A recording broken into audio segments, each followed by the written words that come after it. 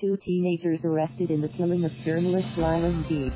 CNN, Northern Ireland police have arrested two teenagers in the killing of 29-year-old investigative journalist Lyra Deep, authorities said Saturday.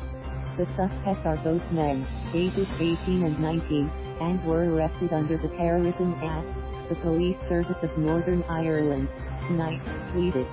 They have been taken to a police station in central Belfast, police said. He, who was a prominent journalist, was killed in the Creggan area of Londonderry on Thursday in what police in Northern Ireland have described as a terrorist incident. The PSNI released footage of the shooting in the hope that members of the community would provide information on the shooting. The footage apparently captured McKee's final moments around 10 p.m. local time, 5 CET, on Thursday, when she stood among the crowd and raised her phone in the air to capture the rioting taking place in front of her. McKee was standing close to a police vehicle when she was wounded by the shots fired by a single gunman. She died soon after from her injuries, Assistant Chief Constable Mark Hamilton told reporters Friday. The police suspect the shooting, which happened during a night of rioting, was carried out by IRA dissidents, namely the new IRA. I cannot stress enough how important it is that people who were in the area last night and who recorded video and took photos share what they have with us. Northern Ireland Detective Superintendent Jason Murphy said in a statement on Friday. People saw the gunmen and people saw those who goaded young people out onto the streets. People know who they are. The answers to what happened last night lie within the community.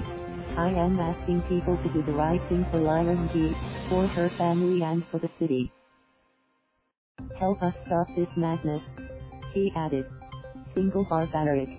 Eh, McKee, who was born in Belfast, is the first journalist to be killed in the United Kingdom since 2001, according to non-profit organization the Committee to Protect Journalists. During a vigil on Friday, her partner, Sarah Canning, said McKee's amazing potential was snuffed out by this single barbaric act. According to the Press Association, victims and the community are left without a tireless advocate and activist and it has left me without the love of my life, the woman I was planning to grow old with. She added. This cannot stand. Lyra's death must not be in vain because her life was a shining light in everyone else's life and her legacy will live on and the life that she has left behind. Northern Irish politicians, including Democratic Unionist Party, DUP, leader Arlene Foster and Irish Republican Sinn Féin Party leader Mary Lou McDonald, condemned McKee's killing during Friday's gathering in the Creggan area of the city, which is also known as Derry. Thursday's unrest came ahead of Easter weekend, during which Republicans marked the anniversary of the 1916 Easter Rising, considered one of the most important events in the struggle for Irish independence. Trouble flared when police entered Creggan area to carry out searches on dissidents, Republicans, who they believed were storing firearms and explosives for a number of planned attacks over Easter weekend, the police said in a statement. As the searches began, a crowd gathered and, upwards of 50 petrol bombs were thrown at officers. The statement said. Two vehicles were hijacked and set on fire, it added. A recent state of violence in Northern Ireland has raised fears that sectarian violence might be revived amid ongoing concerns over the effects of Brexit. In January, a car bomb was detonated in Derry in a suspected attack by the new IRA.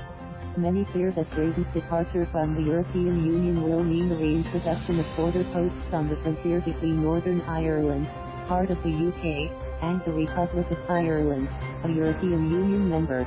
Border infrastructure was often targeted by Irish nationalist paramilitaries during the Troubles, hyphen hyphen the 40, hyphen year sectarian conflict in which more than 3,500 people died.